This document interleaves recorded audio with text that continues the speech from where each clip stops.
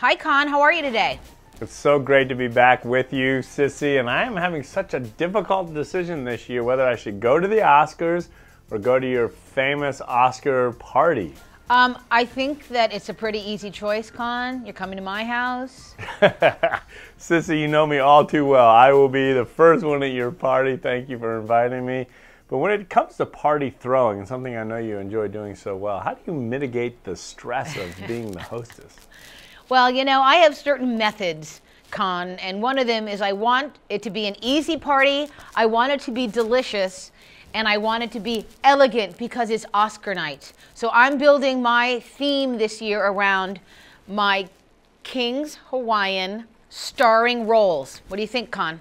Ooh, Sissy, you got me intrigued. Tell us more.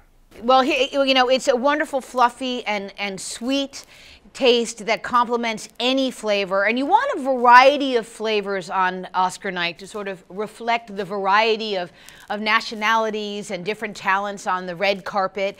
So I start with, I do a, a grilled cheese slider, a, a, grilled chicken slider, excuse me, with some, some roasted peppers. Cut a corner by buying that already roasted pepper from your supermarket. Break down a rotisserie chicken. You can toss it with some tikka masala and make a, a Bollywood slider, again, using the King's Hawaiian.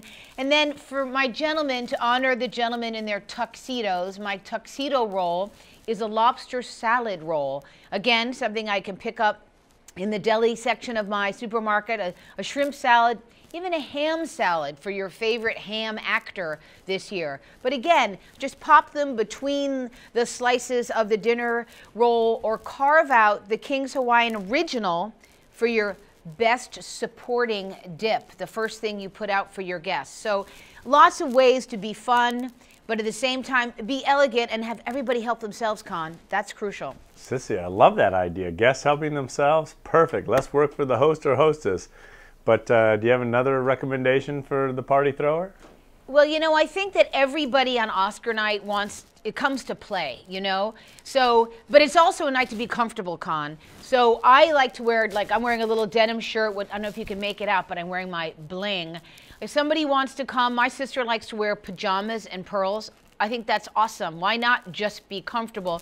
But I like that idea. But the other thing to do is, you know, go go look at what you've already got at home. You might have a red runner from Christmas. Why not just press it and put it back out on the, the table for your buffet or the wherever you're serving up and then, you know, pop some glitter from the party store. You might even have some of these little fun celebratory decoration ideas from your own New Year's Eve party that you've got in the closet. So have some fun. And by the way, you're going to love this idea, Conn. At my party store, I just got a, a top hat and I put loaded it with my yummy organic, you know, uh, classic movie popcorn. And that's fun. People can sit down and have their entire own own uh, serving, and I think that that's also very health conscious.